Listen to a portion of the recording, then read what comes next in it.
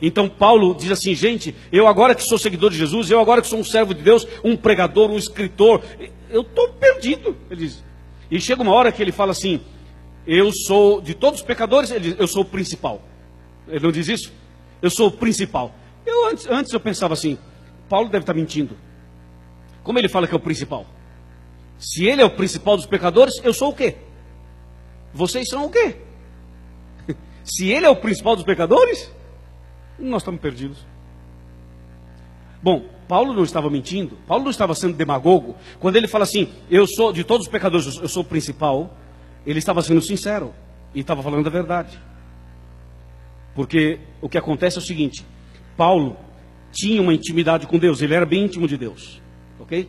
E quanto mais íntimo de Deus você é, quanto mais perto de Deus você chega, mais você se enxerga mais você começa a entender coisas que antes você não entendia. Em outras palavras, quando você está nas trevas, quando você está na escuridão, quando as coisas não estão claras, quando você não tem intimidade com Deus e você está na escuridão, muita coisa é, é comum para você, ok?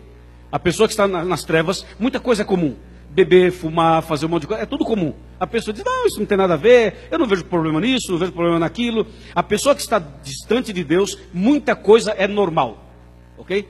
Mas quando a pessoa começa a estudar mais a Bíblia, orar mais, buscar mais a Deus, ela vai saindo da parte mais escura, e ela vai se aproximando da luz, ela vai estudando, vai orando, busca mais a Deus, é uma pessoa mais íntima de Deus, ela chega bem mais perto de Jesus, que é a, a luz maior, e aí, quando você está bem perto da luz, você começa a enxergar detalhes que você não enxergava lá.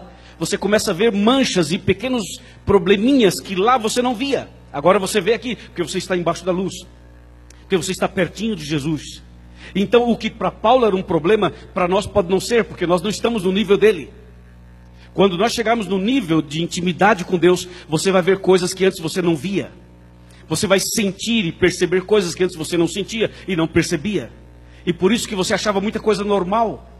Entende? Achava normal e ainda julgava os outros que eram diferentes, dizendo que essas pessoas eram muito extremistas. É que, na verdade, eu e você precisamos dar um passo mais na comunhão e na intimidade com Deus. Por isso que Paulo diz assim: Eu sou o principal dos pecadores. Porque ele estava tão perto de Deus, tão perto, que ele enxergava certos problemas que nós ainda não enxergamos.